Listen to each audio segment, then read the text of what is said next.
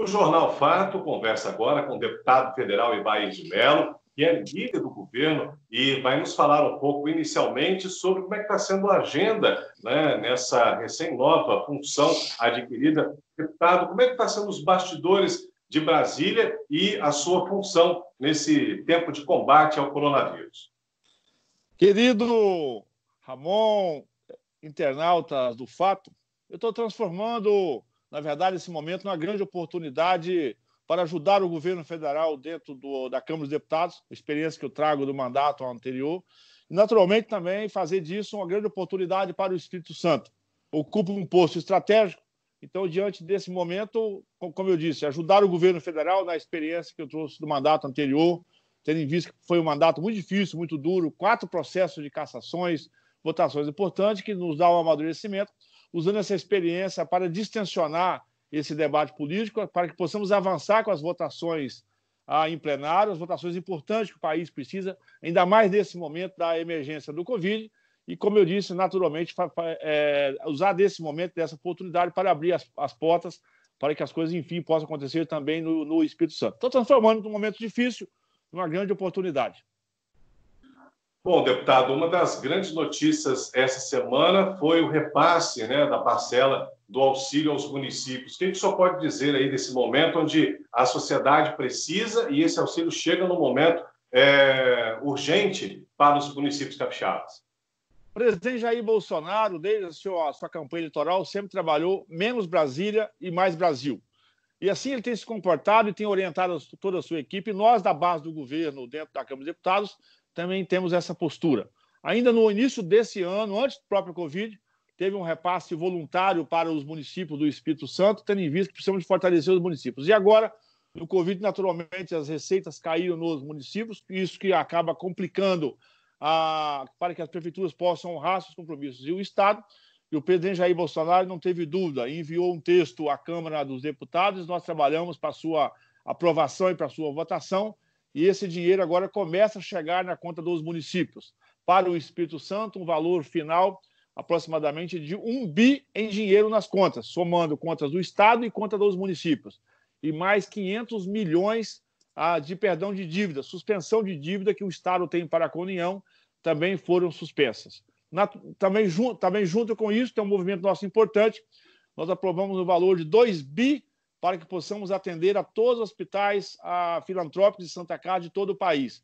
No Espírito Santo, 37 unidades hospitalares filantrópicas aí Santa Casa receberam esses recursos, mesmo algumas delas que tinham problema de documentação, né, está sendo atendido via o Fundo Municipal de Saúde. E nesse primeiro momento, para o Espírito Santo, para o governo do nosso estado, foram depositados um pouco mais de 220 milhões de reais e para as prefeituras 135 milhões. Isso será em quatro parcelas. Então, esse valor multiplicado por quatro. Junho pagou a primeira parcela e vamos pagar a última parcela aí em setembro, para que as prefeituras tenham condições financeiras de parte disso fazer um investimento na saúde e, naturalmente, com a outra parte de livre aplicação, possam honrar os compromissos para manter a atividade da prestação de serviço público para a população, para que, principalmente, os mais carentes, os mais necessitados, mesmo com esse momento difícil da, da, da economia, os serviços essenciais públicos não faltem para essas pessoas. Deputado, o senhor tem uma visão macro né, de Brasil, mas também uma visão muito é, espírito santense, afinal de contas, a sua atuação aqui no Estado, muito presente também na região sul. Qual a grande mensagem que o senhor daria para a população nesse enfrentamento à Covid-19, que tem causado né, essa crise financeira, essa crise sanitária em todo o mundo, mas como liderança, o que o senhor pode passar para o povo capixaba? Primeiro, é um momento difícil para todos nós. O mundo está em pânico, vamos dizer assim, né, diante dessa pandemia que não estava contratada por nós até bem pouco tempo atrás. Portanto, eu acho que nós temos, primeiro, ter muito zelo e cautela é, para que possamos superar esse momento. Acredito que nós vamos superar esse momento tão difícil. Eu, naturalmente, desde o momento inicial, tenho uma posição muito crítica a esses fechamentos totais do comércio e da, da indústria, porque o Brasil não pode se dar ao luxo como país como a Alemanha, como a Inglaterra, que tem uma reserva econômica para superar o desafio. Então, é pedir realmente para que tenhamos bom senso, o equilíbrio, possamos manter as atividades econômicas funcionando. A agricultura não parou e não pode parar para que não falte alimentos brasileiros. trouxemos suportes importantes aos caminhoneiros, que, são tão, é, que naturalmente têm essa, essa função também social. Ah, o auxílio emergencial teve um problema no, no começo, mas começou a chegar às pessoas. Então, é para que realmente, quem puder ficar em casa, fique, para que as atividades essenciais possam funcionar, possamos manter a atividade econômica. Eu tenho certeza que tudo isso vai passar.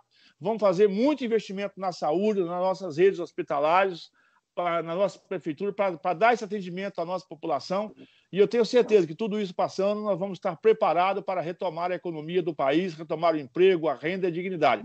O Brasil tem uma chance, nesse momento, de fazer uma revisão, sim, da, das suas contas públicas, dos seus gastos públicos, mesmo após essa pandemia. Eu tenho certeza que vamos sair é, fortalecidos para reconstruir o Brasil na direção que a gente precisa e merece o país dos brasileiros, de quem trabalha, de quem tem dignidade, de quem produz renda para a nossa população. E o Espírito Santo, com a sua carteira de projetos, de investimentos estruturantes também na agricultura, tem a oportunidade aí de criar novos mecanismos no setor de turismo, de serviço, de negócio, mas que possamos retomar esse investimento para que o Espírito Santo possa realmente viver o seu grande momento de crescimento, mesmo após a pandemia. Estou muito confiante.